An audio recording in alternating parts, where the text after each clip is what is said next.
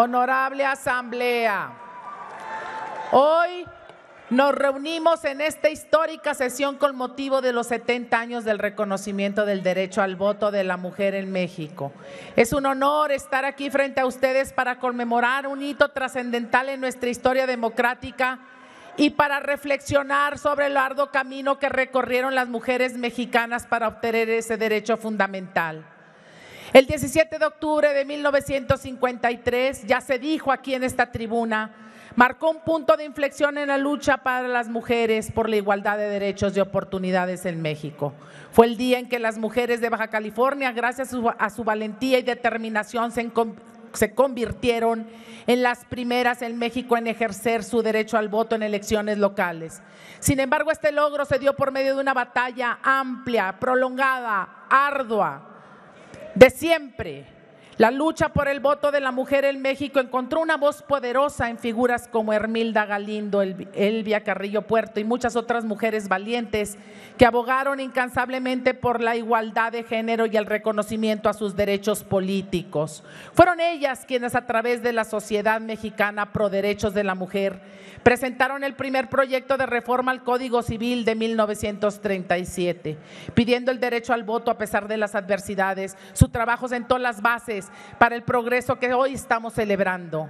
Finalmente, en el 53 se eliminaron las restricciones y se reconoció el voto pleno de las mujeres en México. Fue un triunfo de la justicia y abrió el camino para que las mujeres mexicanas se desempeñaran en un papel activo y decisivo en la vida política de nuestro país. Hoy, todas las diputadas de todos los grupos parlamentarios nos reunimos y rendimos un homenaje a todas aquellas mujeres pioneras que abrieron camino para generaciones futuras a las líderes y a las activistas, a las madres, a las hijas, a las hermanas y a todas aquellas que se atrevieron a soñar con un México más justo, más libre, más incluyente. Por eso en esta legislatura dignificamos esa lucha, la de la paridad de género, en la que por primera vez en un órgano colegiado de un poder federal se alcanzó una, integración mayoritariamente de mujeres. La participación de las mujeres en la toma de decisiones políticas y sociales en México es una piedra angular de nuestra sociedad, ya que enriquece nuestro sistema democrático y aporta nuevas perspectivas y valores y también enfoques. Hoy las mujeres no solo votan, sino también liderean y sirven en cargos públicos, desempeñando roles cruciales en el Congreso de la Unión, en la Administración Pública Federal, en el máximo órgano de impartición de justicia de la nación, así como en los congresos locales y en los gobiernos, y en todos los ámbitos de la vida pública. Por su presencia en estas posiciones nos ha llevado a abordar de manera más efectiva los problemas que enfrenta nuestra sociedad y a trabajar juntos y juntas para construir un México más inclusivo y un México más diverso. El voto de las mujeres ha tenido un impacto profundo en la, en la, formulación de políticas públicas y en la toma de decisiones en nuestro país. Durante las últimas décadas hemos visto cómo las mujeres han ocupado cargos de alto rango en el gobierno y el Congreso también, impulsando reformas legislativas que abordan cuestiones de género, de violencia, de equidad salarial, de derechos reproductivos, de salud. Su presencia en la política siempre ha permitido una representación más equitativa, para la diversidad de las perspectivas y experiencias de nuestra sociedad. Además, el voto de las mujeres ha contribuido significativamente a la estabilidad y legitimidad en nuestro sistema político.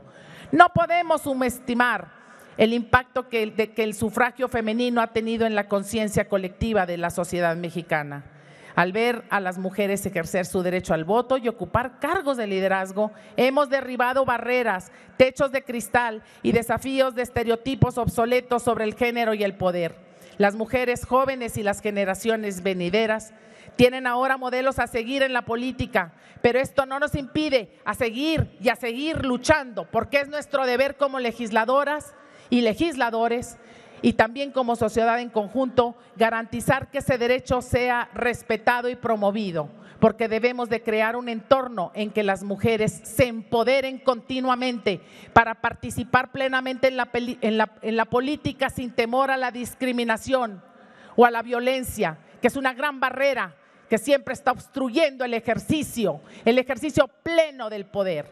También debemos de trabajar incansablemente para eliminar todo tipo de barreras que persisten y que impiden que las mujeres accedamos a cargos todavía más de liderazgo y de toma de decisiones.